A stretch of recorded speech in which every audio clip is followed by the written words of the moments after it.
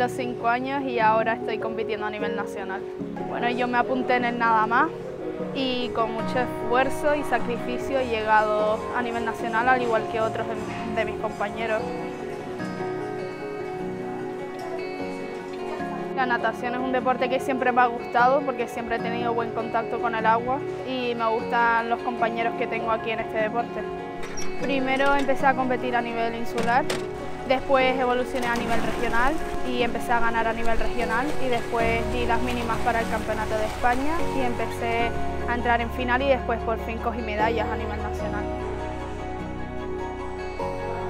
Yo compito en piscina y en aguas abiertas, pero prefiero aguas abiertas porque al ser de Lanzarote tengo la posibilidad de poder nadar en el mar y que no esté tan fría y puedo disfrutar más del deporte. Las travesías de Lanzarote a mí me encantan, o sea, la vibra que da la gente es súper guay, todo el mundo se lleva bien. Lo más difícil en la natación,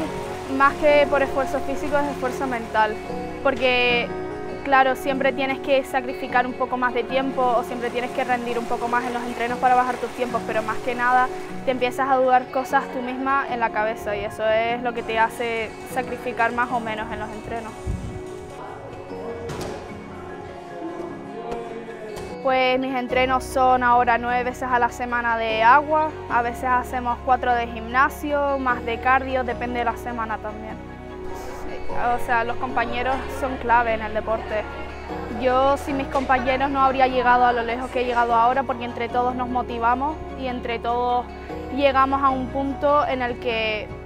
sabemos lo que queremos y nos motivamos a cada uno para que cada uno consiga lo que quiera conseguir. El reto de este año es terminar bien